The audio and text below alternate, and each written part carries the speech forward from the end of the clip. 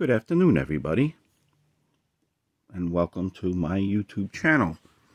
Today, we're going to look at some relays from a uh, Triumph TR7 and other British cars. These were very common on British cars, and you might be asking me, why are you looking at relays? Well, because my car wasn't starting, that's why. I would hit the ignition switch and I just get a click sometimes. Sometimes I didn't get anything. So, researching some relays, we're going to test some relays here. Now, what's the difference between the black and the blue ones? They're not the same, they're not interchangeable. They might be in some circuits, but if you want to be 100% sure, unless you know the schematic of the circuit, don't interchange them because all of them have the coil from 85 to 86. So usually 85 is grounded or negative and 86 is the positive. They all, both the blue and the black ones, okay? Then let's call 30 the common and 30 is the common. But the black one is normally closed on the 87A contact, and then when you apply power to 85 and 86, it will disconnect the 87A and connect the 30 to the 87 contact. And then the 87A will be open with respect to the 30 contact. So this is a normally uh, this is a normally closed, normally open, uh, or SP single pole double throw SPDT relay. Very common and I was happy that I found some at Pep Boys for four dollars. Four dollars. Um, they won't sale because they're usually like nine and change. But guess what? You know, I was looking at the wrong relay.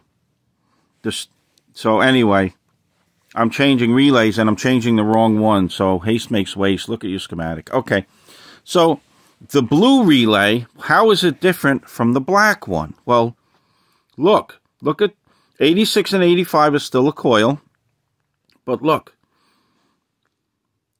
the uh, normally the, the common the common terminal is not connected to anything, whereas on the black one it's connected to 87A when there's no power going to the relay. So this is called a normally open relay. Okay. And uh, single pole, single throw. But when this is energized, it connects 30 to both 87 and 87A. Okay? So that's the difference. The black one disconnects 87A and connects 30 to 50. Okay? I'm sorry, 30 to 87. The blue one is always is open when it's de-energized, but when it's energized, it connects the 30 pin to both 87 and 87A. Okay, now we're going to uh, test these relays. Hold on. Okay, to test these relays, all you need is a DMM. Auto ranging is nice. Set to ohms. A 9 volt battery with a clip lead going to the negative. Okay. This is always going to get connected to my pin 87. I'm sorry, 85, which is the low side of the coil. So when I do my testing, I'm simply going to be connecting this one to the 85 pin and then touching the positive of the battery to the 86 pin, okay? So let's look at a working relay um, I'm going to pause this and set up the. We'll test the black one first. Ah, yeah, that's what we'll do. We'll test. We'll test this one first. Okay, so there's my uh, the alligator lead is on 85. That's this right one. That's one side of the coil. Then we're going to keep touching the positive of the battery to this side, which is 86 of the coil. Now, this is the normally closed one. So pin 30 is on the bottom and pin 87A is kind of that center one. So I have a clip lead on pin 30 on the bottom and a clip lead on uh, 87A. Now, what do you expect the meter to read? Zero ohms. They're connected. They're connected, then there's no power going to the relay. Okay? Now, I'm going to take this and touch it. I'm going to energize this relay. It's hard to do this with two hands. Okay? So here we go.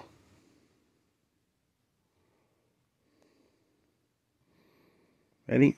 Uh, let me get you a good view here. And the meter goes to open or megohms. It should be a pure overload. There shouldn't really be any megohms. So this one could be on its way out, uh, but it should be a complete overload. Now when I let go and de-energize, it goes back to zero. So when I connect it, listen, this is what they should sound like.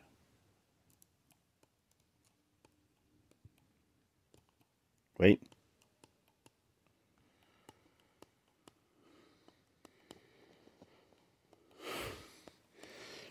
All right, my battery's dead because I've been using this yesterday and today to test relay. So hold on, let me just get a new battery. Hold on.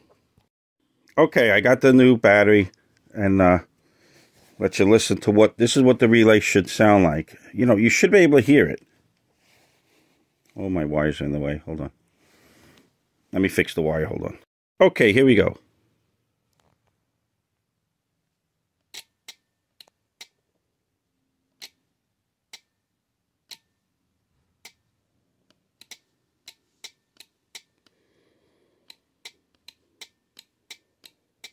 Okay, so that's what these sound like.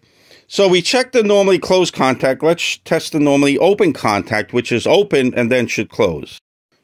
Okay, so I still have my my negative on 85. My common is still on 30 and but I moved it from the normally closed center contact to the normally open contact. And as you could see, we're floating around in the mega ohms here. It should be an overload. So this is so if this was a good relay, this should be a complete overload, open circuit. But let's see if it switches. Let me uh, switch hands here. Okay, so let's see. May see if we get our click. Energize the coil. Oh, fingers in the way.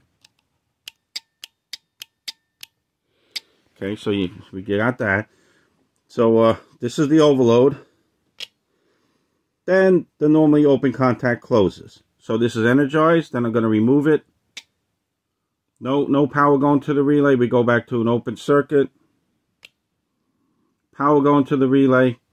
We go back to a short circuit on the 76 and 30 contacts. Okay, this is a short.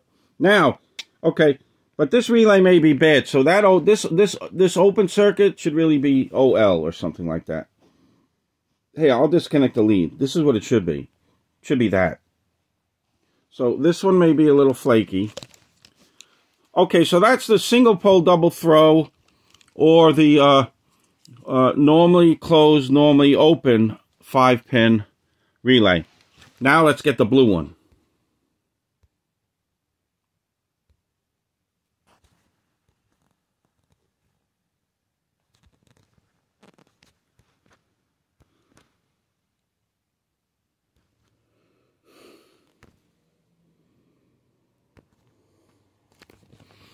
Okay, I'm having trouble here.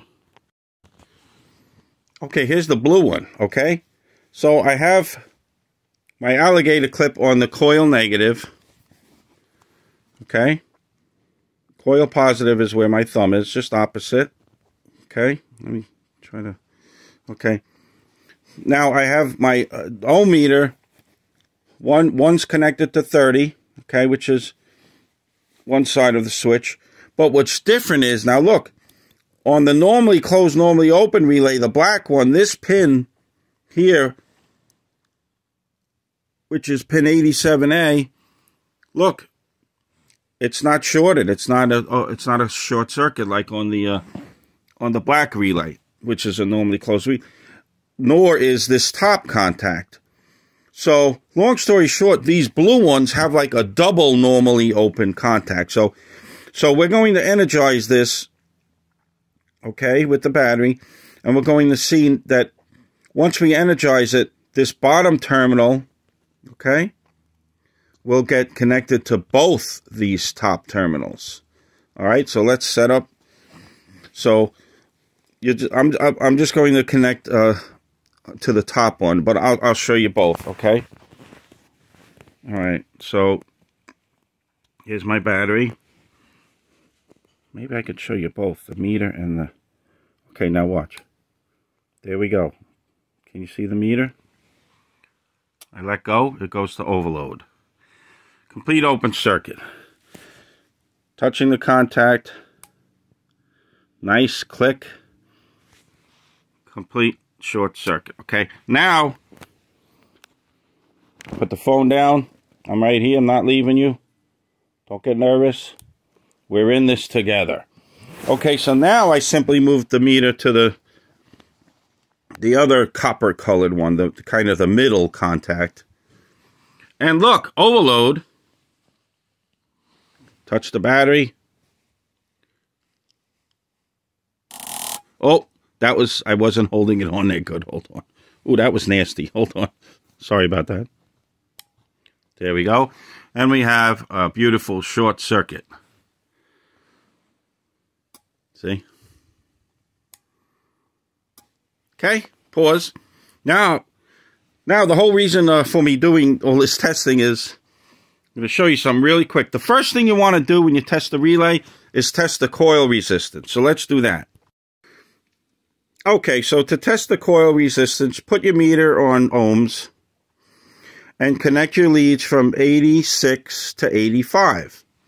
And on these Lucas relays, they're usually around 52, 55 ohms, something like that. So you can see we have a beautiful 55 ohm relay coil. Now, just because your coil is good doesn't mean your relay is good. Just don't forget that little tidbit there. Because contacts could be dirty, they could be carbonized, and they could, you know, not make any contact. They could be corroded. So even though you hear the relay clicking, it doesn't mean it's making contact.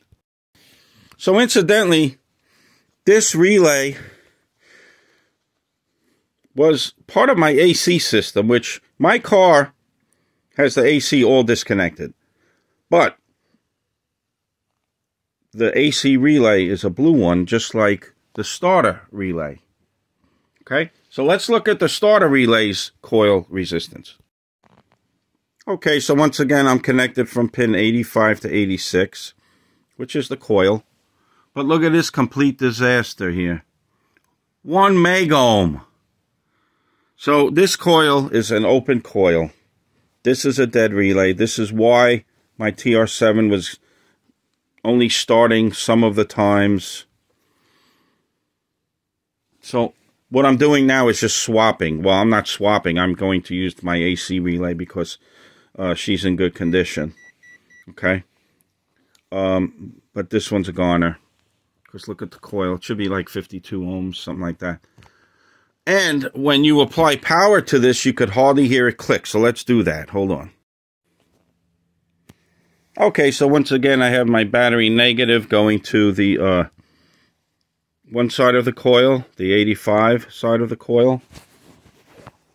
And I'm going to try to balance my phone here. Yeah, okay. Oh, there we go. Okay, so then I'm going to take my 9 volt battery and touch it. Look, it, it, listen, listen closely. It makes the slightest sound. Listen.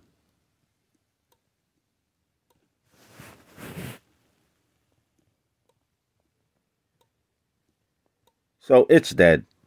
Remember, these things are loud enough you could hear these if you're a few, few feet away from them.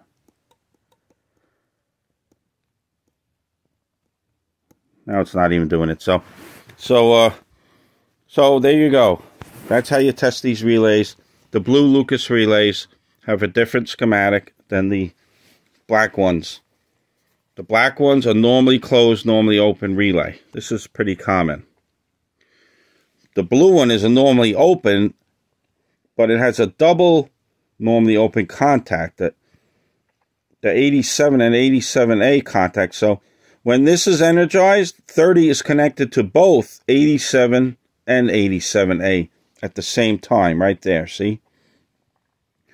So it kind of, so you have 12 volts here, say, on 30, and then when you energize the relay coil, both 87 and 87A will be energized. So you could kind of power two circuits with it.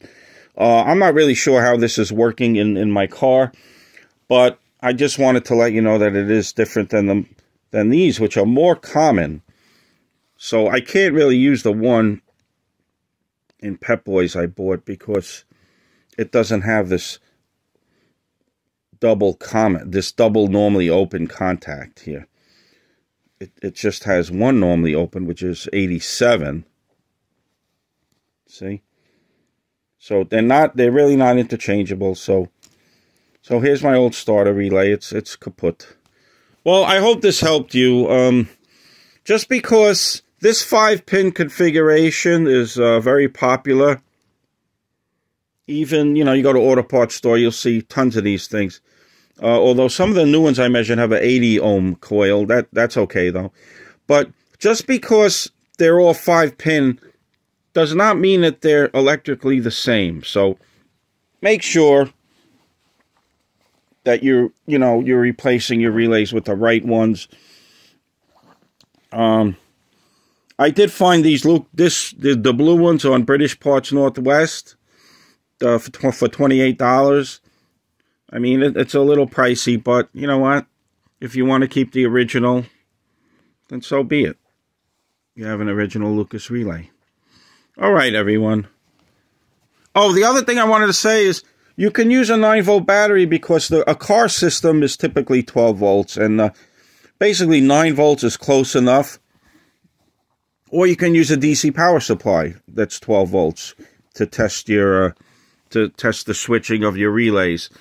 Um, the only problem with the 9 volts is if you have a dead 9 volt, it's not going to switch your relay, so you may think your relay's bad, but it's you know, so that's that's a whole variable you may want to avoid. So make sure you use a new 9 volt and you know, just don't keep it there long. Don't touch the contact long because it's a very tiny battery and it's easy just to really kill it because these coils take a good amount of current that a little baby 9 volt is not going to be able to uh, sustain for too long. Okay, have a great day, everybody. Thanks for watching. Bye.